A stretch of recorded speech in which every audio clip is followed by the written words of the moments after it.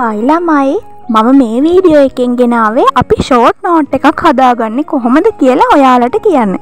මුලින්ම අපි බලමු ෂෝට් නෝට් එකක් කියන්නේ මොකක්ද කියලා.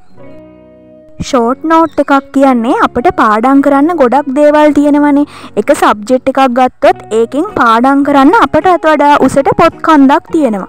ඉතින් එතකොට අපට පාඩං කරන්නත් බෝරින්. ඒ නිසා අපට පාඩං කරන්න ආස විදියට පාඩං කරන්න හිතෙන විදියට අපට කෙටිසටහනක් එහෙම නැත්නම් ෂෝට් නෝට් එකක් හදාගන්න පුළුවන්. ඉතින් එතනදී ෂෝට් නෝට් එකක් කියන්නේ ඒ නෝට්වල තියෙන දේවල් කොලයක් අරගෙන කෙටියෙන් ලියන එක එහෙම නෙවෙයි. පළමු ෂෝඩ් නෝට් එකක් හදාගන්නේ කොහොමද කියලා. පළවෙනි දේ තමයි අපි විසින්ම ෂෝඩ් නෝට් එක හදාගන්න ඕනි. දැන් බුක්ෂොප් වල ඕන තරම් ෂෝඩ් නෝට් බුක් ගන්න තියෙනවා. හැබැයි ඒ වගේ ඔයාට ඕන විදියට නෝට් නෝට් නැතිවෙන්න පුළුවන්. ඒ නිසා ඔයා විසින්ම ෂෝඩ් නෝට් එකක් හදාගන්න. මෙතනදී ෂෝට් නෝට් එක හදාගන්න ඕනි තමන්ගේ වචනයෙන් අපි ෂෝට් නෝට් එක හදන පාඩම මුලින්ම හොඳට කියව ගන්න ඕනි.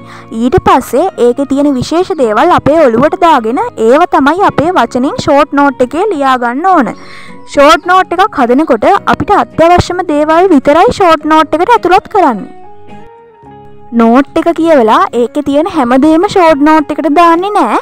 මොකද එහෙමුණොත් ඒක ෂෝඩ් නෝට් එකක් වෙන්නේ නෑනේ. අපිට අර ෆුල් නෝට් එක පාඩම් කරගන්න අමාරු නිසානේ අපි ෂෝඩ් නෝට් එකක් ගහන්නේ. ඒ නිසා ඒකත් නෝට් එකක් විදිහට හදාගන්න එපා. ෂෝට් නෝට් එක ෂෝට් විදිහට තමයි අපි හදාගන්න ඕනේ. ඒ වගේම තමයි ෂෝට් නෝට් එක හදනකොට අපිට රූප සටහන් වගු ප්‍රස්ථාර වගේ දේවල් අරගෙන අපිට ඒ දේවල් මතක හිටින විදිහට ඒක හදාගන්න පුළුවන්. ඒ කියන්නේ ඒකාකාරී බවෙන් මිදෙන්න පුළුවන් විදිහ විදිහට ඒ ඒ පාඩංවලට අදාළව ඔයාට මතක හිටින විදිහට චිත්‍ර අඳින්න පුළුවන්. ඒ වගේම තමයි ගැලීම් සටහන් අඳින්න පුළුවන්. ෂෝට් නෝට් එකක් හදනකොට ඒ වගේ දේවල් අනිවාර්යයෙන්ම ඇතුළත් කරන්න ඕන. එතකොට අපිට ඒ දේවල් මතක තියාගන්න හරිම ලේසි. දැන් ගොඩක් ළමයි ෂෝට් නෝට් හදන්න පුරුදු වෙලා ඉන්නේ නිකම් පාඩමක් ලියනා වගේ ඡේද පිටින් ෂෝට් නෝට් එක ලියාගෙන යන්න. එහෙම ලියන්නේ නෑ ෂෝට් නෝට් එකක් හදන්නේ අපි පොයින්ට් විදිහට අපිට තියෙන විශේෂ දේවල් අපි පොයින්ට් විදිහට තමයි පිළිවෙලට ලියාගෙන යන්නේ. එහෙම තමයි හරි විදිහට නම් ෂෝට් නෝට් එකක් හදන්නේ ඡේද විදිහට අපි ෂෝට් නෝට් ලියන්නේ නැහැ. ඊළඟට ඔයා හදන කෙටි සටහන් ඒ ඒ සබ්ජෙට් එකට අදාළව වෙන වෙනම පිළිවෙලට ෆයිල්ස් වල දාලා තියාගන්න.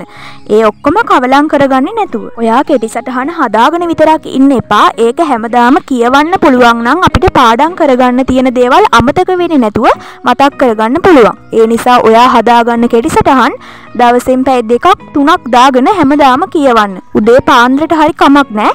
උදේ පාන්දරට කියවනවා නම් ගොඩක් හොඳයි. මොකද ඔයාලට එතකොට ඒ දේවල් හොඳට මතක මතක හිටිනවා. අවසාන දේ තමයි ෂෝට් නෝට් එක හදාගත්තම ඒක මත විතරක් යැබෙන්න එපා ඔයාගේ සබ්ජෙක්ට් වලට අදාළව තියෙන නෝට්සුත් හොඳටම පාඩම් කරගන්න. ඉතින් ඔය දේවල් ටික තමයි ඔයාට ෂෝඩ් නෝට් එකක් හදන එක ගැන කියන්න තියෙන්නේ. ඒ වගේම තමයි ඔයාට දැන් විභාගයකට අපි හිතමු තව මාසයක් දෙකක් තුනක් තියෙන්නේ කියලා. එහෙමනම් ඔයා තාම ෂෝඩ් නෝට් ගහලා නැත්නම් මේ කාලය තුලත් ඔයා ෂෝඩ් නෝට් ගහන්න යන්න එපා. මොකද ඒ කාලේ ඔයා ෂෝඩ් නෝට් ගගහ හිටියොත් ඔයාට පාඩම් කරගන්න කොහොමත් බැරි වෙනවා.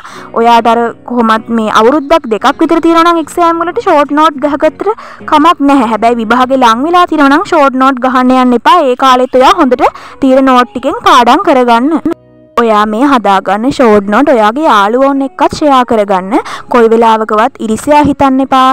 කුහක වෙන්න එපා. යාළුවොත් එක්කත් ෂයා කරගෙන ඒවා හොඳින් බලාගෙන වැඩටික කරගන්න. ඔයත් යාළුවන්ගේ ෂෝඩ් නොට අරගෙන බලාගන්න. ඔයාගේ වත් එයාලට ෂයා කරගන්න.